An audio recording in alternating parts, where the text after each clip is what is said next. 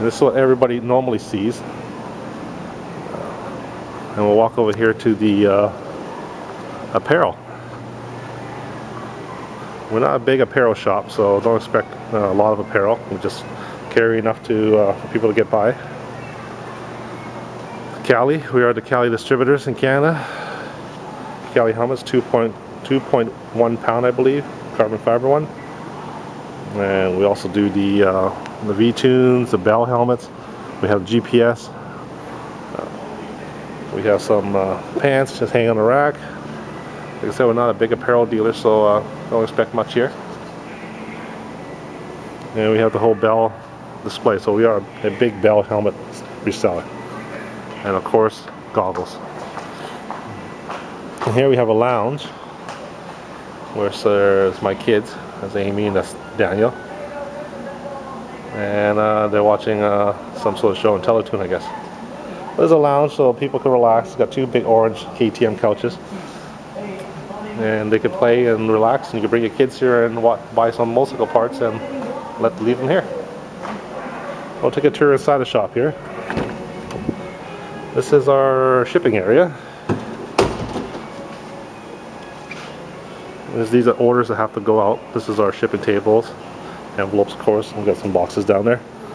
And these are, this is our shipping rack. All these blue bins represent an order that corresponds with orders on that wall and this wall here.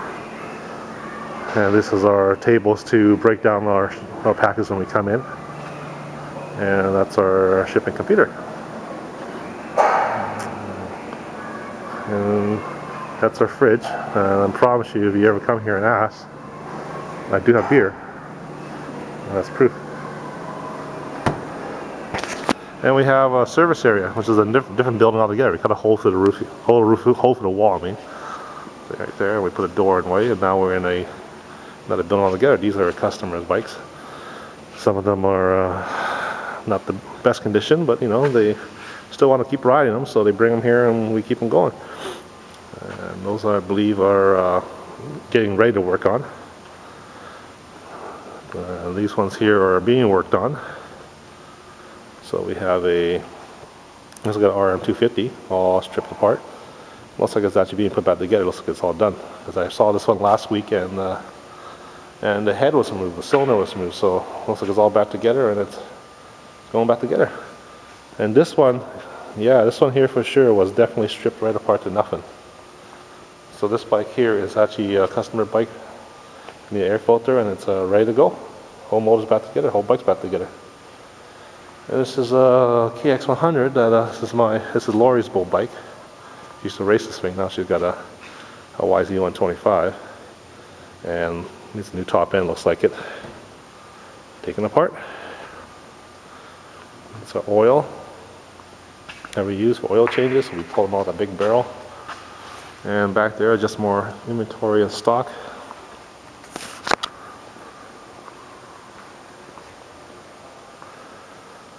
Yeah, this is more inventory and stock, and we got more shelving for oils and body kits, and we got big boxes there uh, Kali helmets, more of the oils.